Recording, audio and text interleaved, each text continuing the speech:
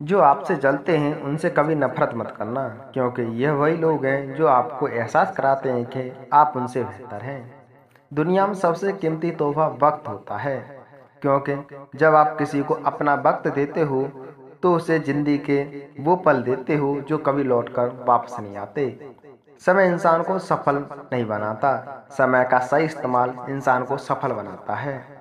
बोलना तो सब जानते हैं, पर कब और क्या बोलना है यह बहुत ही कम लोग जानते हैं।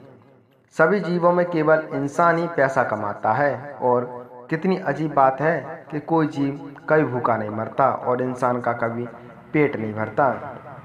पूरे संसार में ईश्वर ने केवल इंसान को ही मुस्कुराने का गुण दिया है। इस गुण को खोइए मत। इंसान हर घर में जन्म लेता है, लेकिन इंसानियत कहीं कहीं जन्म लेती है। जब किसी इंसान को किसी अपने से धोखा मिलता है तो फिर वो इंसान कभी किसी पर भरोसा नहीं कर पाता। गुस्से में आदमी बेकार की बातें तो करता है, पर कभी दिल की बातें भी कह देता है।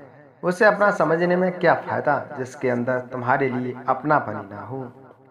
अगर ये संकेत मिले तो दिल में हर वक्त आता है कि किसी की याद हमेशा दिल में आती रहती है। तो कहीं कहीं वह भी आपको याद करता होगा। जिस इंसान के बिना हम एक पल भी नहीं रह सकते, ज़्यादातर वही इंसान हमें अकेले रहना सिखा देते हैं।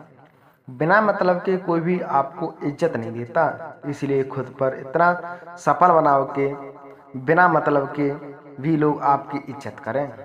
रात को रो रो कर सोना सुबह उठकर किसी को महसूस ना होने देना मोहब्बत यह हुनर भी सिखा देती है। बात करने से मोहब्बत ख़त्म नहीं होती, मगर मोहब्बत तब ख़त्म हो जाती है जब ऐसा हो जाए कि हमेशा रिश्तों को बचाने की कोशिश एक तरफ़ से ही हो।